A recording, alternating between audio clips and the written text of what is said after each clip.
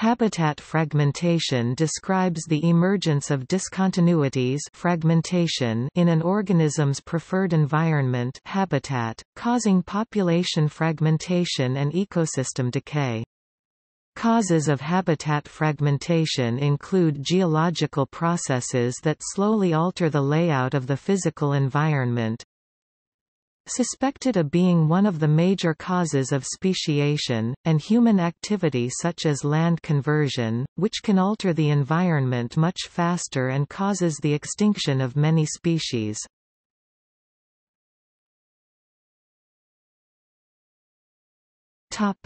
Definition The term habitat fragmentation includes five discrete phenomena Reduction in the total area of the habitat. Decrease of the interior, edge ratio. Isolation of one habitat fragment from other areas of habitat. Breaking up of one patch of habitat into several smaller patches. Decrease in the average size of each patch of habitat. Fragmentation not only causes loss of the amount of habitat, but by creating small, isolated patches it also changes the properties of the remaining habitat. Van den Berg et al. 2001. Habitat fragmentation is the landscape level of the phenomenon, and patch-level process thus meaning, it covers, the patch areas, edge effects, and patch shape complexity. In scientific literature, there is some debate whether the term habitat fragmentation applies in cases of habitat loss, or whether the term primarily applies to the phenomenon of habitat being cut into smaller pieces without significant reduction in habitat area.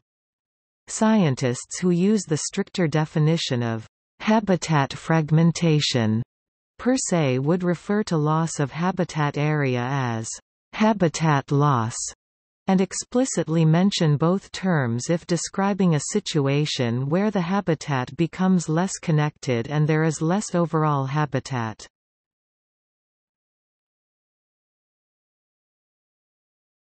Topic: Causes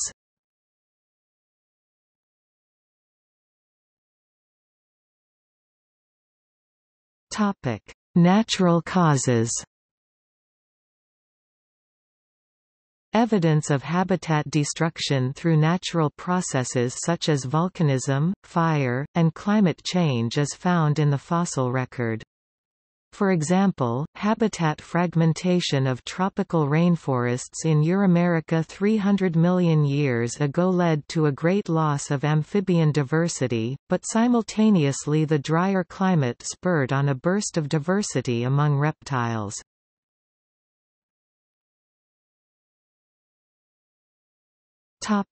Human causes Habitat fragmentation is frequently caused by humans when native plants is cleared for human activities such as agriculture, rural development, urbanization and the creation of hydroelectric reservoirs. Habitats which were once continuous become divided into separate fragments. After intensive clearing, the separate fragments tend to be very small islands isolated from each other by cropland, pasture, pavement, or even barren land. The latter is often the result of slash and burn farming in tropical forests. In the wheat belt of central western New South Wales, Australia, 90% of the native vegetation has been cleared and over 99% of the tall grass prairie of North America has been cleared, resulting in extreme habitat fragmentation.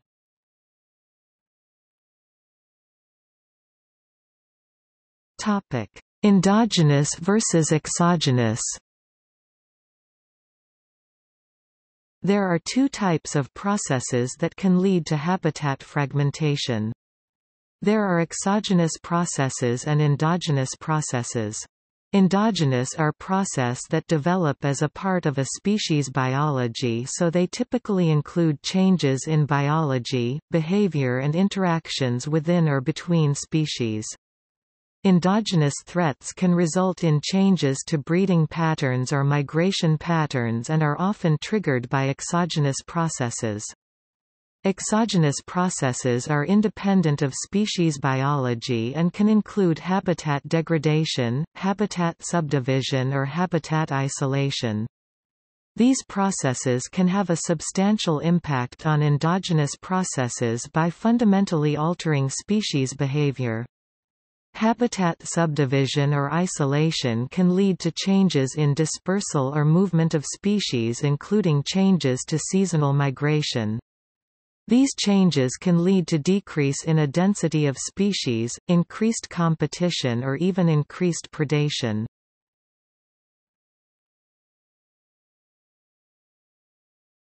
Topic: Implications.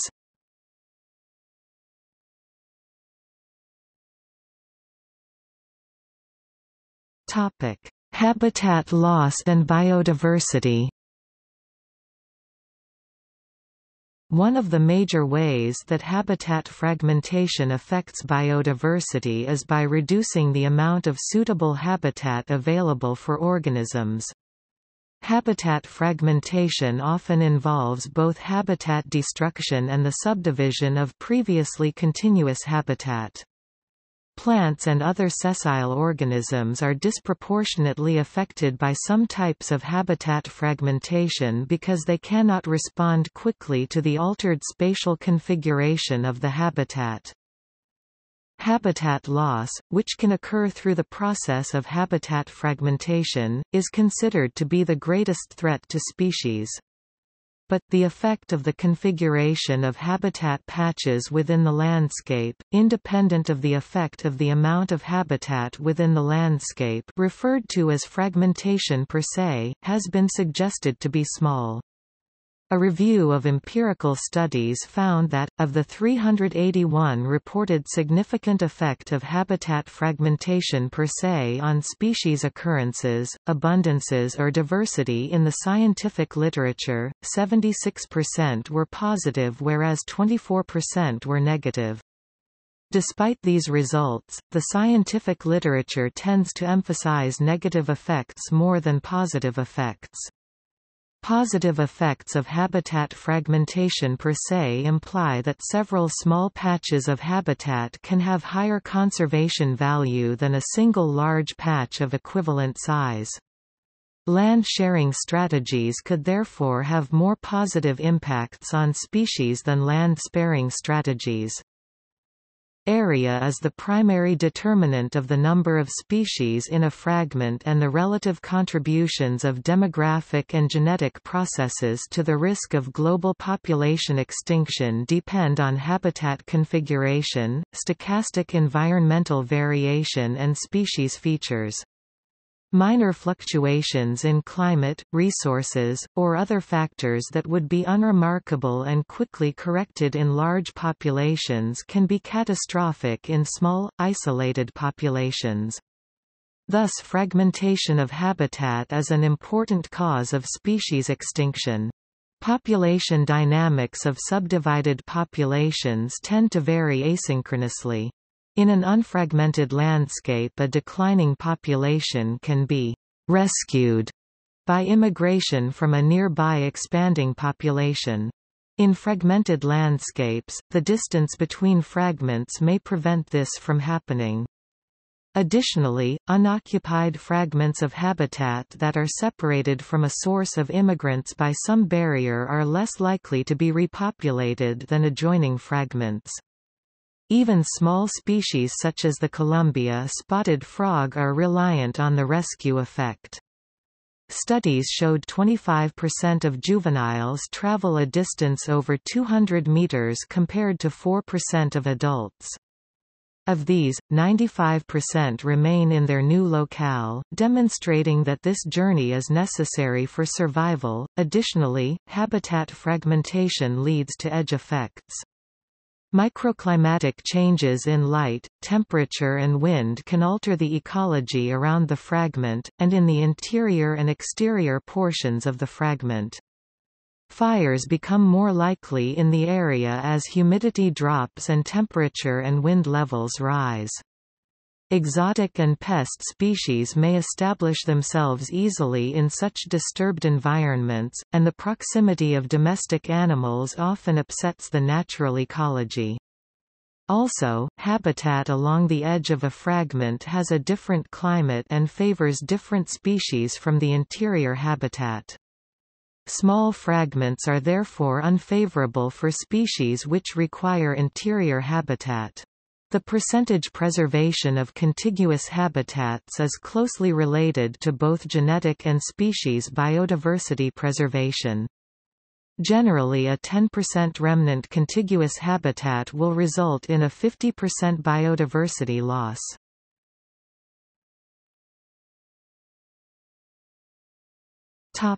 Informed conservation Habitat fragmentation is often a cause of species becoming threatened or endangered. The existence of viable habitat is critical to the survival of any species, and in many cases the fragmentation of any remaining habitat can lead to difficult decisions for conservation biologists. Given a limited amount of resources available for conservation is it preferable to protect the existing isolated patches of habitat or to buy back land to get the largest possible continuous piece of land? In rare cases a conservation-reliant species may gain some measure of disease protection by being distributed in isolated habitats. This ongoing debate is often referred to as SLOSS single large or several small.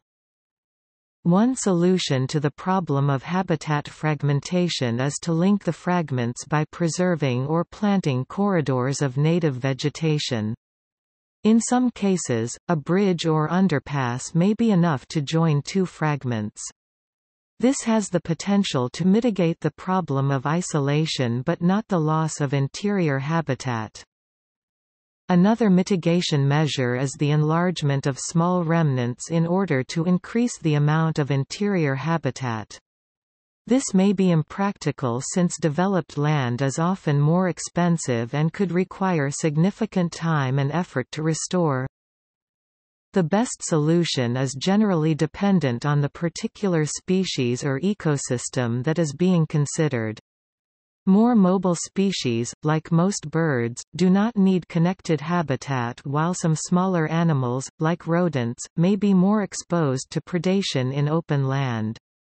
These questions generally fall under the headings of metapopulations island biogeography. Topic. Genetic risks As the remaining habitat patches are smaller, they tend to support smaller populations of fewer species. Small populations are at an increased risk of a variety of genetic consequences that influence their long-term survival. Remnant populations often contain only a subset of the genetic diversity found in the previously continuous habitat. In these cases, processes that act upon underlying genetic diversity, such as adaptation, have a smaller pool of fitness-maintaining alleles to survive in the face of environmental change. However in some scenarios, where subsets of genetic diversity are partitioned among multiple habitat fragments, almost all original genetic diversity can be maintained despite each individual fragment displaying a reduced subset of diversity.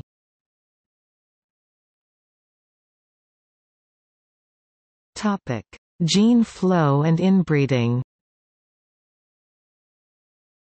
Gene flow occurs when individuals of the same species exchange genetic information through reproduction. Populations can maintain genetic diversity through migration. When a habitat becomes fragmented and reduced in area, gene flow and migration is typically reduced.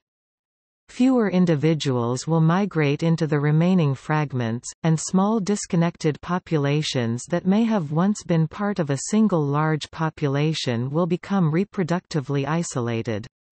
Scientific evidence that gene flow is reduced due to fragmentation depends on the study species. While trees that have long-range pollination and dispersal mechanisms may not experience reduced gene flow following fragmentation, most species are at risk of reduced gene flow following habitat fragmentation. Reduced gene flow, and reproductive isolation can result in inbreeding between related individuals. Inbreeding does not always result in negative fitness consequences, but when inbreeding is associated with fitness reduction it is called inbreeding depression. Inbreeding becomes of increasing concern as the level of homozygosity increases, facilitating the expression of deleterious alleles that reduce the fitness. Habitat fragmentation can lead to inbreeding depression for many species due to reduced gene flow. Inbreeding depression is associated with conservation risks, like local extinction.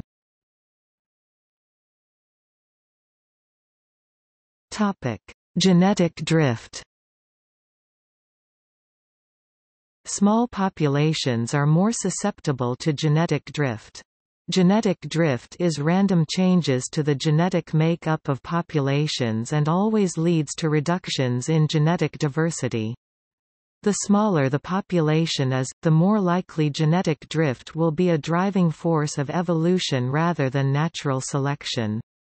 Because genetic drift is a random process, it does not allow species to become more adapted to their environment.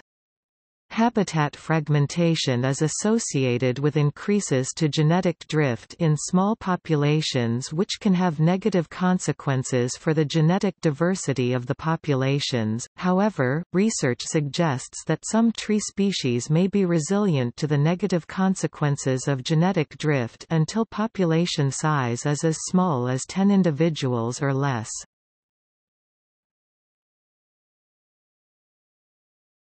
Topic: Adaptation. In order for populations to evolve in response to natural selection, they must be large enough that natural selection is a stronger evolutionary force than genetic drift. Recent studies on the impacts of habitat fragmentation on adaptation in some plant species have suggested that organisms in fragmented landscapes may be able to adapt to fragmentation. However, there are also many cases where fragmentation reduces adaptation capacity because of small population size.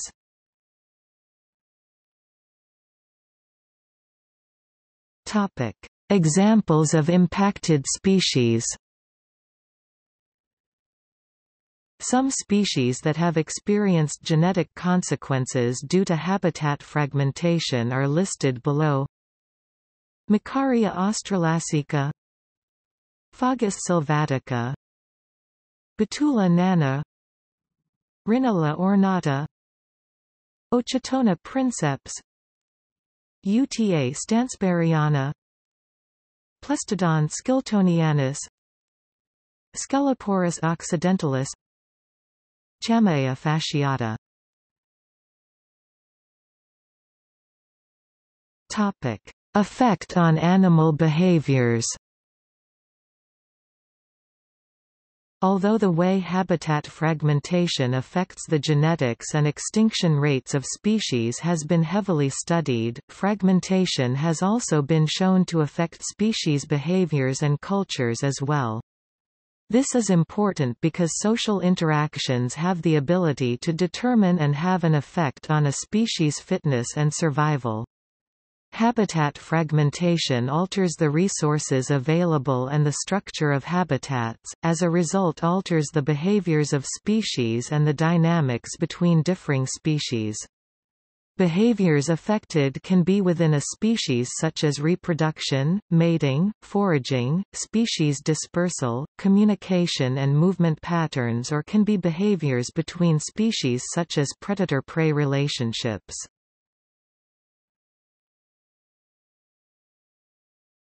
Topic: Predation behaviors. Habitat fragmentation due to anthropogenic activities has been shown to greatly affect the predator-prey dynamics of many species by altering the amount of species and the members of those species. This affects the natural predator-prey relationships between animals in a given community and forces them to alter their behaviors and interactions, therefore resetting the so-called behavioral space race. The way in which fragmentation changes and reshapes these interactions can occur in many different forms. Most prey species have patches of land that are refuge from their predators, allowing them the safety to reproduce and raise their young. Human-introduced structures such as roads and pipelines alter these areas by facilitating predator activity in these refuges, increasing predator-prey overlap. The opposite could also occur in the favor of prey, increasing prey refuge and subsequently decreasing predation rates. Fragmentation may also increase predator abundance or predator efficiency and therefore increase predation rates in this manner. Several other factors can also increase or decrease the extent to which the shifting predator-prey dynamics affect certain species, including how diverse a predator's diet is and how flexible habitat requirements are for predators and prey. Depending on which species are affected and these other factors, fragmentation and its resulting effects on predator-prey dynamics may contribute to a species extinction. In response to these new environmental pressures, new adaptive behaviors may be developed. Prey species may adapt to increased risk of predation with strategies such as altering mating tactics or changing behaviors and activities related to food and foraging. Topic: Boreal woodland caribous. In the boreal woodland caribous of British Columbia the effects of fragmentation are clearly demonstrated. The species refuge area is peatland bog which has been interrupted by linear features such as roads and pipelines. These features have allowed their natural predators, the wolf and the black bear to more efficiently travel over landscapes and between patches of land.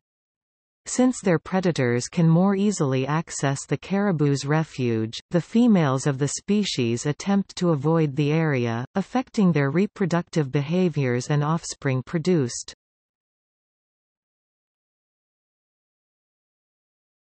Topic: Communication behaviors. Fragmentation affecting the communication behaviors of birds has been well studied in DuPont's lark. The larks primarily reside in regions of Spain and are a small passerine bird which use songs as a means of cultural transmission between members of the species. The larks have two distinct vocalizations, the song and the territorial call. The territorial call is used by males to defend and signal territory from other male larks and is shared between neighboring territories when males respond to a rival's song. Occasionally it is used as a threat signal to signify an impending attack on territory. A large song repertoire can enhance a male's ability to survive and reproduce as he has a greater ability to defend his territory from other males, and a larger number of males in the species means a larger variety of songs being transmitted. Fragmentation of the DuPont's lark territory from agriculture, forestry and urbanization appears to have a large effect on their communication structures. Males only perceive territories of a certain distance to be rivals and so isolation of territory from others due to fragmentation leads to a decrease in territorial calls as the males no longer have any reason to use it or have any songs to match.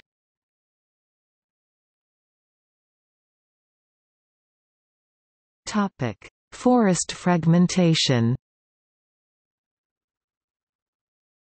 Forest fragmentation is a form of habitat fragmentation where forests are reduced either naturally or man-made, to relatively small, isolated patches of forest known as forest fragments or forest remnants. The intervening matrix that separates the remaining woodland patches can be natural open areas, farmland, or developed areas. Following the principles of island biogeography, remnant woodlands act like islands of forest in a sea of pastures, fields, subdivisions, shopping malls, etc. These fragments will then begin to undergo the process of ecosystem decay. Forest fragmentation also includes less subtle forms of discontinuities such as utility right-of-ways Utility rows are of ecological interest because they have become pervasive in many forest communities, spanning areas as large as 5 million acres in the United States. Utility rows include electricity transmission rows, gas pipeline and telecommunication rows. Electricity transmission rows are created to prevent vegetation interference with transmission lines. Some studies have shown that electricity transmission rows harbor more plant species than adjoining forest areas, due to alterations in the microclimate in and around the corridor. Discontinuities in forest areas associated with utility right-of-ways can serve as biodiversity havens for native bees and grassland species, as the right-of-ways are preserved in an early successional stage.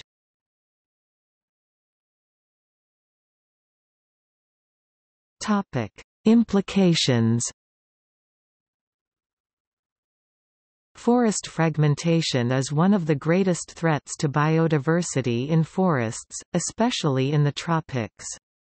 The problem of habitat destruction that caused the fragmentation in the first place is compounded by the inability of individual forest fragments to support viable populations, especially of large vertebrates, the local extinction of species that do not have at least one fragment capable of supporting a viable population Edge effects that alter the conditions of the outer areas of the fragment, greatly reducing the amount of true forest interior habitat. The effect of fragmentation on the flora and fauna of a forest patch depends on a the size of the patch, and b its degree of isolation. Isolation depends on the distance to the nearest similar patch, and the contrast with the surrounding areas. For example, if a cleared area is reforested or allowed to regenerate, the increasing structural diversity of the vegetation will lessen the isolation of the forest fragments. However, when formerly forested lands are converted permanently to pastures, agricultural fields, or human-inhabited developed areas, the remaining forest fragments, and the biota within them, are often highly isolated. Forest patches that are smaller or more isolated will lose species faster than those that are larger or less isolated. A large number of small forest islands typically cannot support the same biodiversity that a single contiguous forest would hold, even if their combined area is much greater than the single forest. However, forest islands in rural landscapes greatly increase their biodiversity.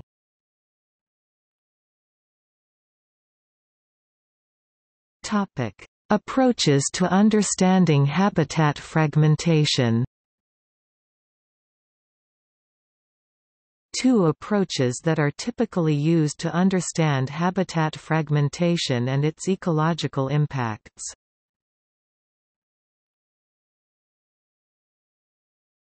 Topic: Species-oriented approach. The species-oriented approach focuses specifically on individual species and how they each respond to their environment and habitat changes within it. This approach can be limited because it does only focus on individual species and does not allow for a broad view of the impacts of habitat fragmentation across species.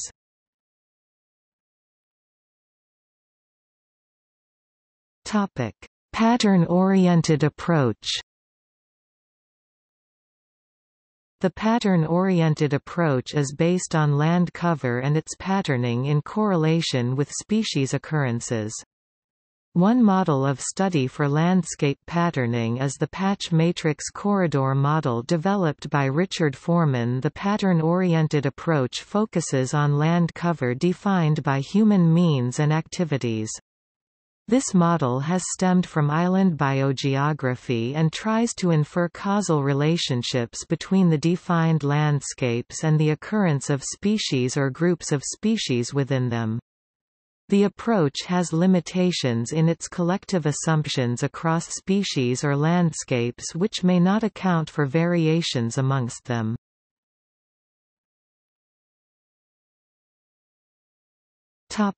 Variegation model The other model is the variegation model. Variegated landscapes retain much of their natural vegetation but are intermixed with gradients of modified habitat This model of habitat fragmentation typically applies to landscapes that are modified by agriculture. In contrast to the fragmentation model that is denoted by isolated patches of habitat surrounded by unsuitable landscape environments, the variegation model applies to landscapes modified by agriculture where small patches of habitat remain near the remnant original habitat. In between these patches are a matrix of grassland that are often modified versions of the original habitat. These areas do not present as much of a barrier to native species.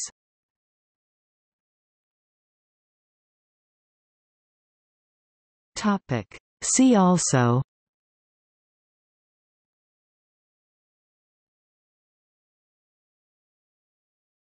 Topic: Bibliography. Lindenmayer D. B. and Fischer J. 2013 Habitat Fragmentation and Landscape Change, An Ecological and Conservation Synthesis Island Press